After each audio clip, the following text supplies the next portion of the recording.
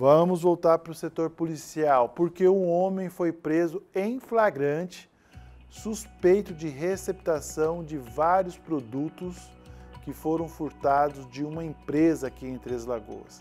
Acompanhe na reportagem do Sidney Cardoso.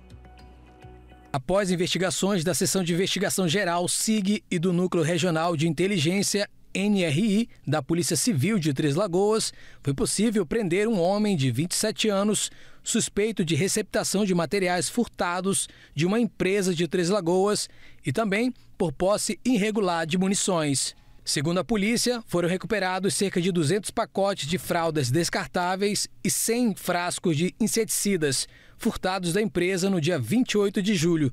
O delegado do SIG da Polícia Civil, Ricardo Cavânia, explica como os suspeitos furtaram também um caminhão para transportar a mercadoria, que foi abandonado horas depois e recuperado no bairro Jupiá. A partir de então, a equipe de investigadores aqui da SIG e do NRI, né, o Núcleo Regional de Inteligência, estavam trabalhando, né, nesse caso, para identificar quem seriam os autores e, sobretudo, recuperar esse material subtraído.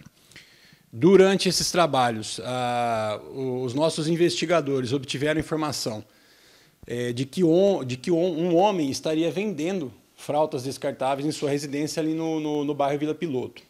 Ah, as equipes, as nossas equipes de investigadores trabalharam rapidamente, identificaram quem seria esse, esse indivíduo e também onde seria a residência dele.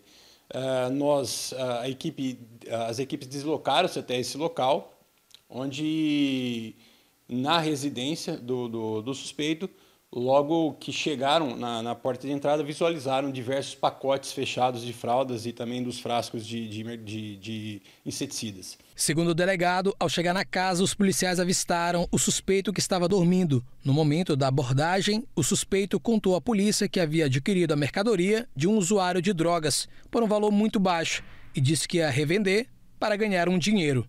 Um valor considerável, é, somando-se aí todas essas mercadorias, é algo em torno de 20 mil reais, que será restituído ao proprietário da, da, empresa. O suspeito foi encaminhado para a sede da SIG e autuado por receptação de produtos furtados e depois encaminhado para a Delegacia de Pronto Atendimento Comunitário, a DEPAC. Ele foi autuado em flagrante, né, não foi arbitrado a fiança e nós já temos aí os indícios é, bastante consistentes de quem seriam os autores do furto.